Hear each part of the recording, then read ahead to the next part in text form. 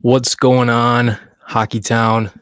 It's Matt with Red Wings Diehards. Forrest is not going to be able to join me tonight. He's a bit tied up with some personal stuff. Um, obviously, this is a very somber evening now. A pretty poor week of hockey uh, from the Detroit Red Wings. Uh, we're going to get into it tonight and talk about what's next. So here we go. Turn up your volume. Because you're about to listen to The Sick Podcast. Sick Podcast. Hockeytown Hangout. Brings it in, scores! Oh, his first NHL goal is a beauty! The sickest Detroit Red Wings podcast. It's gonna be sick. Um, so a number of things that we can discuss right now. Um, I'm trying to to keep a level head. Um, it's frustrating because you know on this podcast and on this Twitter account at the beginning of the year, we're pro- we were saying like it's probably going to be like 88, 90 ish points, probably going to compete for a spot and ultimately end up missing slightly. And that seems like it's going to be pretty spot on. And like, that's cool. We were right about that, but living it out in real time is really frustrating. Um, this city and this team's had to endure a lot of really shitty hockey for the better part of a decade. Um, I mean, any Red Wings fans who have a birth year 2010 or later, like all they really know is pretty much mediocrity, which sucks. You have a whole generation growing up that's used to the Detroit Red Wings being mediocre, that associates the winged wheel with mediocrity. And um, and I'm not gonna sit here and just bash the team because at the end of the day, despite this just horrendous collapse that's gone on the past few months here, not few months, sorry, few several weeks, like five, six weeks, whatever it's been. They've improved. And you know, there there are a number of holes on the roster for sure still. Um, I'm not gonna sit here and, and be, you know, all pom poms, but the points percentage does continue to grow each year if you want something to hang your hat on. Um, but at the end of the day, this week was a big, the biggest week of Detroit hockey in the 2020s at the very least. And you could make the argument in in an even bigger span of time, the biggest week of hockey, right? And like you know, it's not over. They lost in overtime. They got a point, but like if they end up tied with anybody, they're they have the least amount of regulation wins. So um, you need a ton of help at this point. And um, you got three games left. Toronto is no easy task. You have Auston Matthews who's trying to score 70. So like all their players will be playing. And like Montreal is not just like a, a layover either. You know, they're not just gonna lay down and roll over. And that's a divisional matchup, an original six matchup, and they'd love to spoil our season. So they've been playing well. They just put up nine on the Flyers the other day. Um but what I will say is the goaltending and the defense. And you could make the argument like half the forwards. You could make the argument the coaching staff. I mean, there's a number of places that you could put the blame on all this. I mean, your last 20 games are 5 12 and 3. 5 12 and 3. 13 points in 20 games. Um, that's nowhere near the clip they were hitting in January and February. Uh, the last five weeks have just been an absolute masterclass on how to watch the ground beneath you give way. Um, and you could you could you could put it at you could put the blame at the feet of any any of those people, the bottom six forwards. You know, I mean, like uh, someone tweeted earlier, there's only like a few players that have scored three or more goals since March 1st. It's like Larkin, Raymond, and Kane. Everyone else says less than that, and that's just insane.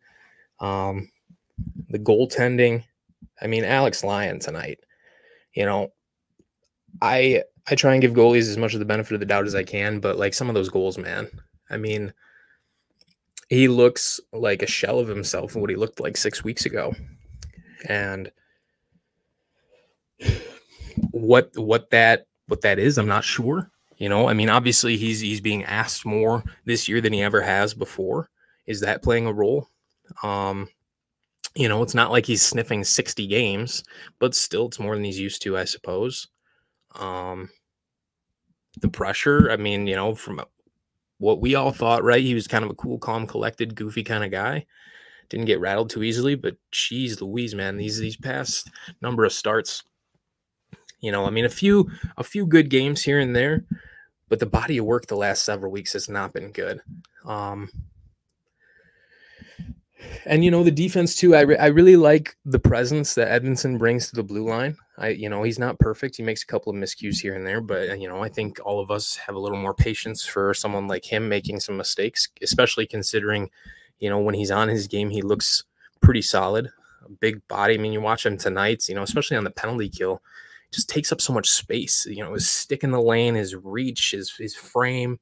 You know I mean what a nightmare in terms of a matchup tool that a coaching staff could use. Um, but at the end of the day, there's just too many Jags on the roster. And when I, when I say Jag, I mean just a guy. There's just too many too many Jags. Um, there's there's too many of them. Too many passengers. And we tweeted it the other day. I mean, just too many of these veteran leaders not making the key play. I mean, you look at and you look at the overtime goal tonight. That's I mean, that's two plays by JT Compher in my mind that are on tape that are super, super soft. In the game against Washington on the first goal, the Strome goal, he's wide open in the slot in the D zone.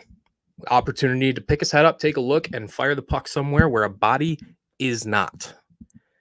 Uh, he didn't. He just fired it away. Was held in. Fired it right to the guy. Like literally, just a just a quick little head pickup. That's all you needed to do, man.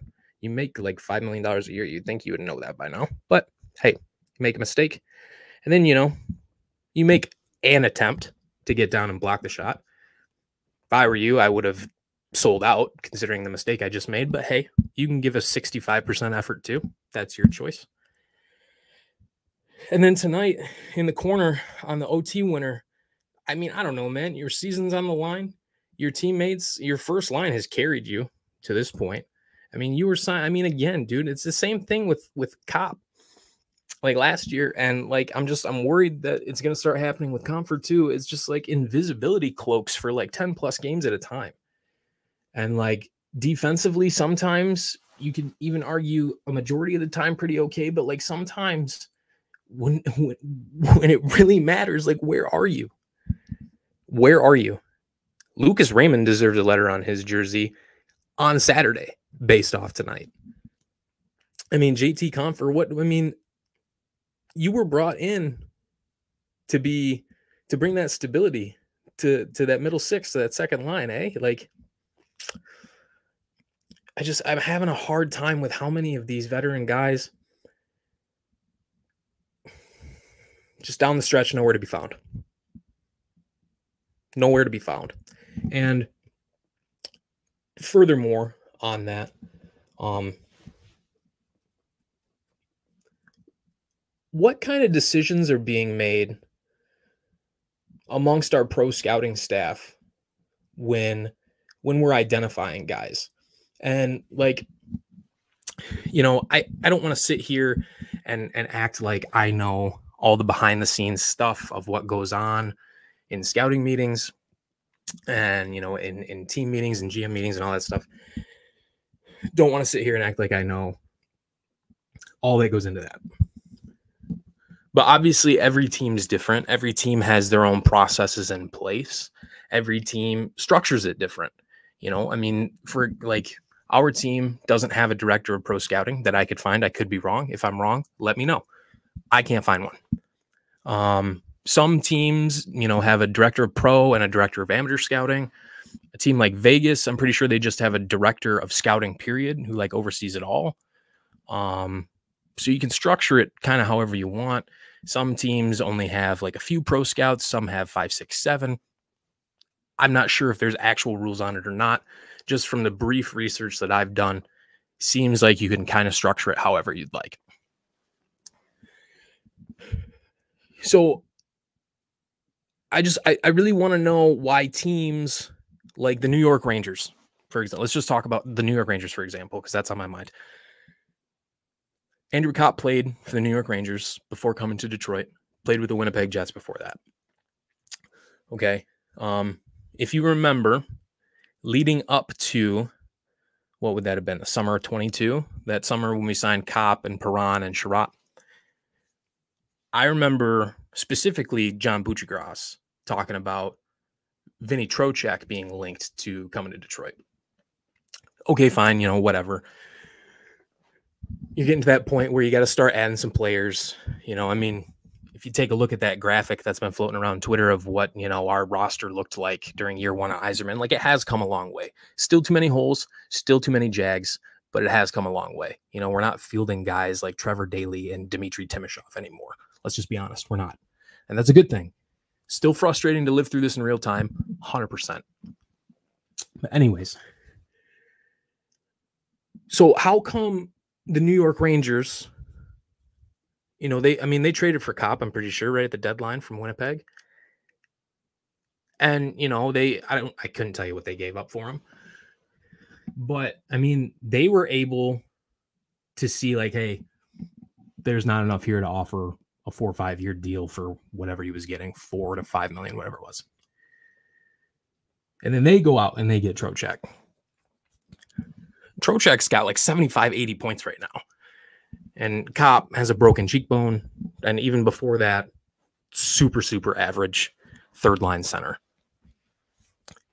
Like 20, 30 points. I, I don't I don't know. I don't have it in front of me.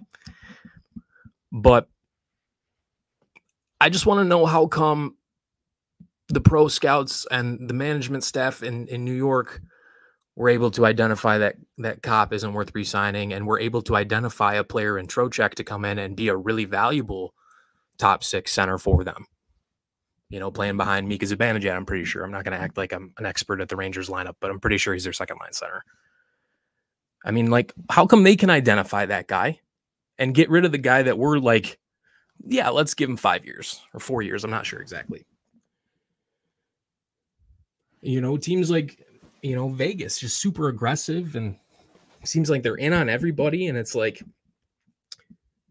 what who's making these decisions? Like, what did we do before offering Copp term and money? Did we watch a six minute YouTube highlight video of him in Winnipeg and New York and be like, yeah, it's good enough? Like, what like what are we actually watching to determine what we give these guys?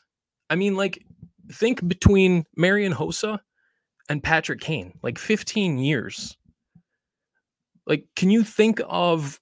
I mean, and even even in those two cases, that was just one year piece. Who knows if Patrick Kane's going to come back after this collapse?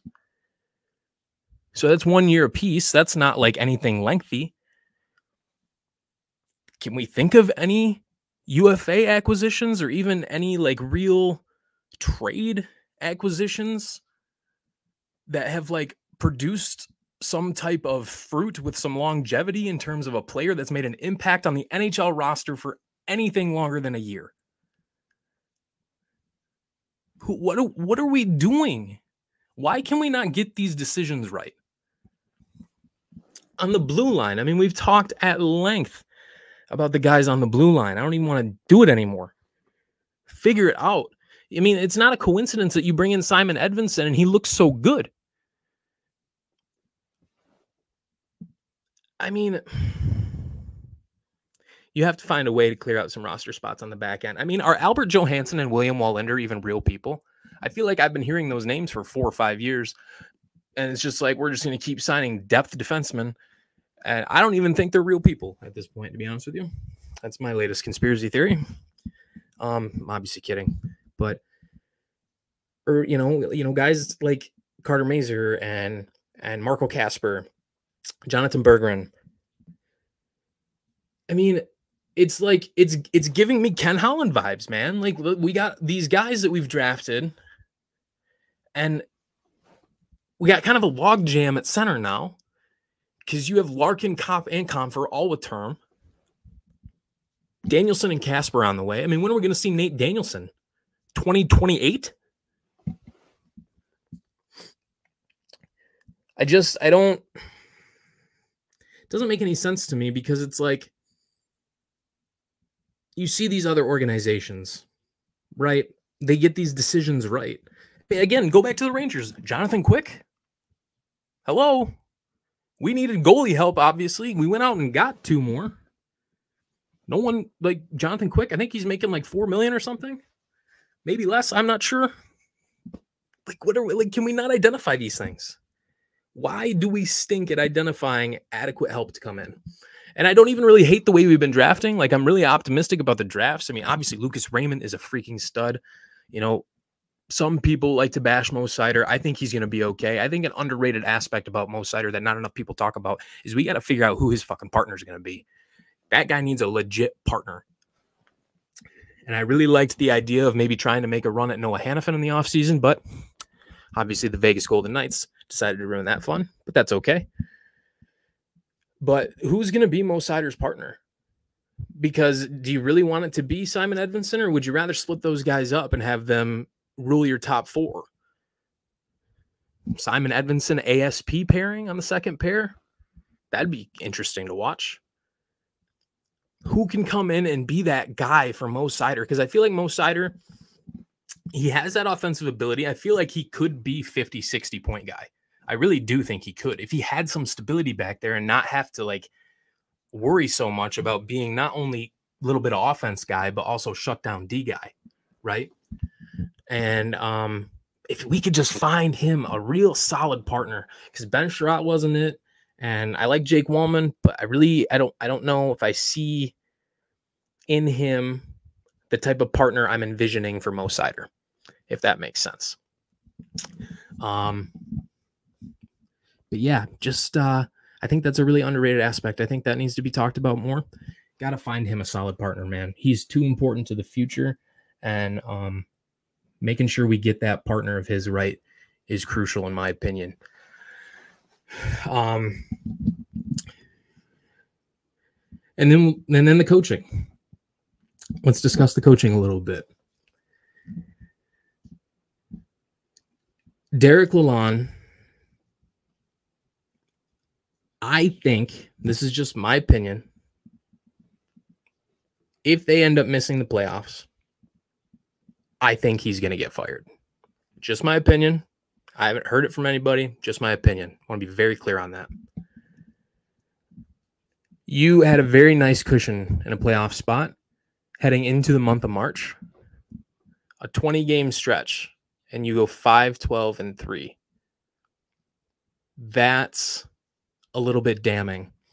And it's not just going 5 12 and 3.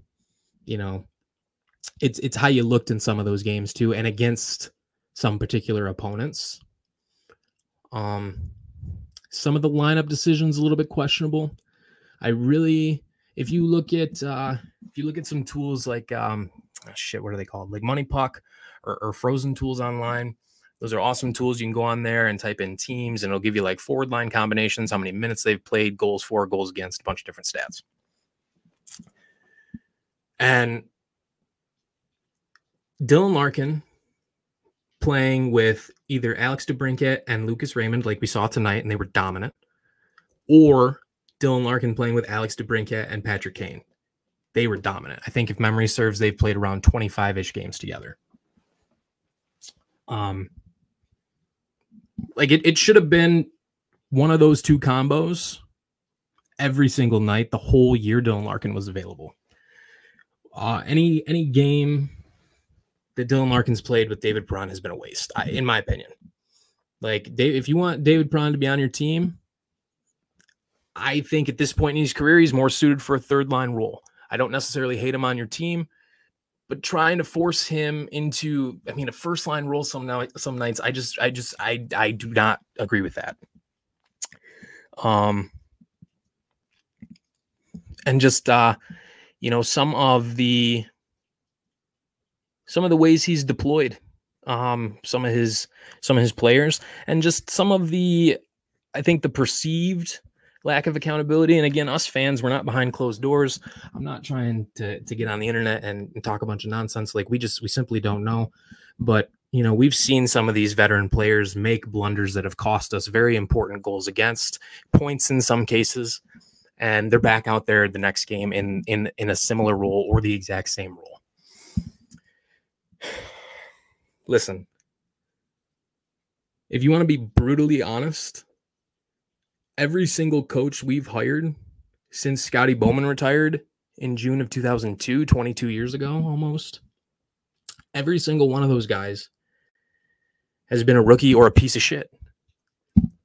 Dave Lewis was a rookie, didn't work out. Mike Babcock comes in, kind of a rising star, still a little bit relatively unproven, had a nice year with the Ducks, ended up being just a psycho and an idiot. Terrible human being to Johan Franzen um, and some others as well along his coaching journey that's hopefully over.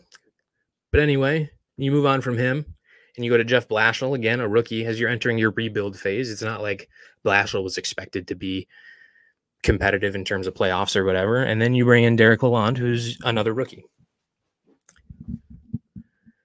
I believe that this group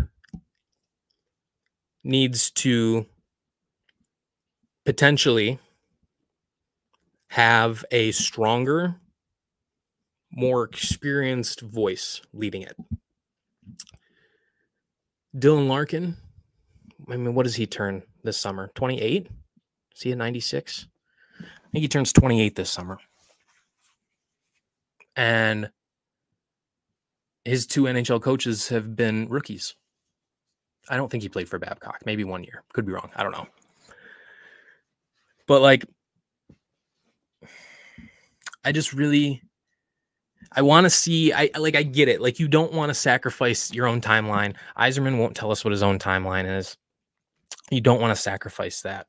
But like the clock is ticking. Dylan Larkin's 20s are almost over. 25% of the DeBrincat contract is almost over.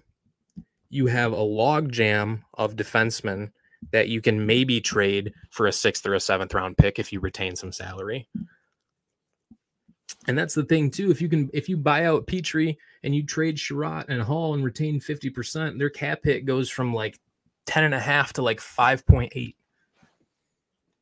And you only have the one buyout and you retain salary for the two years with both the other two. You have your other retained salary slot becoming free uh, this summer with the um, with the Vrana deal expiring. Got to find some ways to be creative. Um, you know, are you are you at the point where you need to consider maybe a, a true hockey trade? Um, the fact of the matter is that the DNA of this team is still, in my opinion, relatively soft. Um, these past five weeks, you've had probably maybe four or five guys who have been on consistently. And obviously, you didn't have Larkin for a time and four or five guys might be being a bit generous. Um, this city is dying for a winner, and we're dying to experience some successful Red Wings hockey. And don't get me wrong, like we've been competitive into game 80 this year. That was really, really fun and exciting to be a part of but you almost feel like with how they played down the stretch, like, does it even really count?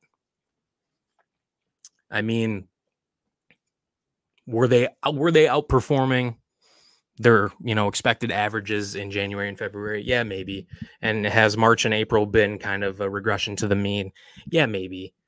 But you know, data doesn't really factor in the human element, right? I mean, you're riding a high in January and February. And like you lose a couple games and then Larks goes down and it's just like something snaps.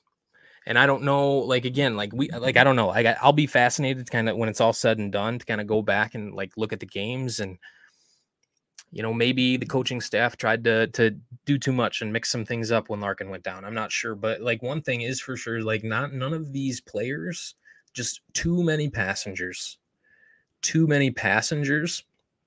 And um, you know, say what you want about a coach like Torts. Like, I mean, nobody expected Philadelphia to be sniffing a playoff spot. And a guy like that, just who isn't afraid to kind of tell it how it is, who isn't afraid to hold guys accountable. And like it's not going to work out for the Flyers this year, I'm afraid. Um, but man, Torts just, you know, he finds a way to have some success wherever he goes, right? I mean, and like success you don't think is coming. Like winning that cup with Tampa 20 years ago. I mean, the the Columbus sweep of Tampa Bay a few years ago after the President's Trophy, um, winning season that they had.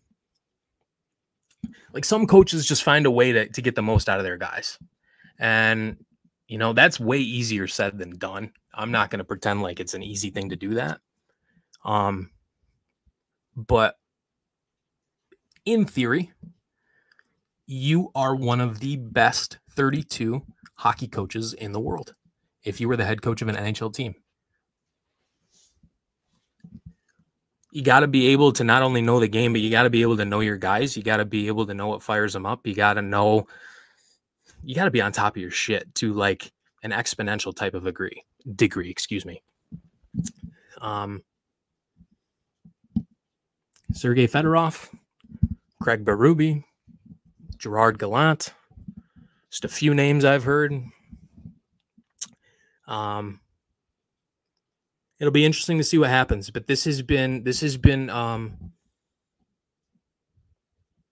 this has been a collapse, and there's blame to go around, and I think uh, I think every player in the room and every coach would bear some blame if you if if you really asked them and they had to be honest. I think every one of them would would bear some of it because that's how hockey men are but something's got to give, man, because there are just too many fucking passengers wearing that logo right there. And it's too damn bad because, um, you know, we were spoiled for a long time and we had a dynasty for, you know, 11, 12 years or however long it was. Um, but you're I mean, well, this will be year seven or eight without the playoffs. end up missing, like we probably will. And um, I mean, once I mean, you're flirting with double digit years now. I mean, that's Buffalo Sabres territory. Um, and I understand that Ken Holland did Steve Yzerman zero favors, but uh, you're five years in, and you do keep improving, and I'll give you that. Um, but there was a lot of inaction done maybe intentionally over the last couple of months. Nothing at the trade deadline. The only real meaningful thing that we did post trade deadline was call up Simon Edvinsson, which I think most of us loved, and he should for sure be on the team all year next year. Um, but you know, um, playoffs probably in the eyes of the team, I would guess they, they probably um probably didn't think they would be here either. But the fact of the matter is, it was February 29th, 2024, and you were comfortably in a spot. And um, there's just there's a lot of people that that uh, you know we love our sports, we love our teams, and for us, we love the Red Wings, and um, it's just unfortunate there's so many people who are just um, okay with this because inaction is action to a degree, in my opinion, from ownership to management to coaching staff and players. You know, there are a number of players on the team who need to have a really solid offseason and come back better. Um, and Lucas Lucas Raymond deserves an eight-year contract for sure after what he's done down the stretch here. And making the argument that he is the MVP of the team and not Dylan Larkin this year. So